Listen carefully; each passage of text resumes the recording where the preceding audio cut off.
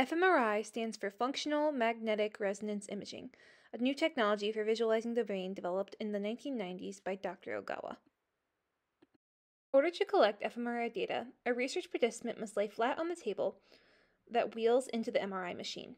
If fMRI data is being collected about a specific region of the brain, a coil may be placed over the participant's head to obtain clearer data. The final necessary piece of equipment is the magnetic resonance imaging tube that the participants are wheeled into. Usually, research scanners have a magnetic field strength of 3 teslas or 3 Ts. fMRI imaging measures brain activity by detecting changes in blood flow in the brain. It is reliant on the fact that cerebral blood flow and neuronal activation are coupled. More specifically, higher brain activity is directly proportional to an increased blood flow. The signal is measured by the two types of hemoglobin in the blood deoxygenated and oxygenated hemoglobin.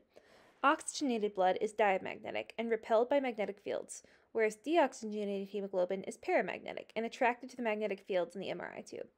Seiji Ogawa proposed that deoxygenated blood rushes to a brain region and disrupts the magnetic field. The magnetic resonance signal is subsequently weaker. Conversely, an increased concentration of oxygenated blood in a brain region corresponds with a larger magnetic resonance signal. Overall, a high magnetic, mag- magnetic resonance signal corresponds with increased neural activity in a specific brain region. The procedure is non invasive and does not require any radiation. However, participants must remove all metal from their person, and those with metal joint replacements or hardware from surgeries may be unable to undergo an fMRI scan due to complications with the magnetic field. The spatial resolution of the technology refers to the ability of the technology to indicate which brain region is active, whereas temporal res- resolution refers to the ability of the technology to indicate when that brain area was active. Conversely, the technology is notorious for having low temporal resolution, meaning fMRIs are not necessarily good indicators of when a specific brain region was active. There are many advantages to using fMRI as a technology for brain visualization. First, the technique is non invasive and does not require radiation like X rays, CT scans, or PET scans. The images produced have high resolution and detail- are detailed in 1 millimeter. The machine is relatively easy to use, and it helps scientists evaluate brain structure and function relationship. However, the technology is expensive compared to other imaging techniques.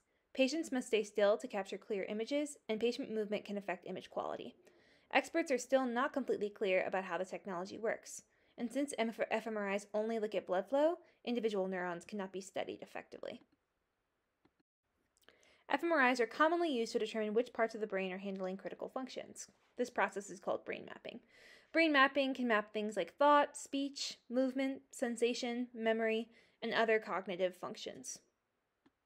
Although the scientific community still has much to learn about the capacity and mechanism of this technology, fMRI visualization has already led to new abilities to understand the human brain and new clinical applications to improve quality of life.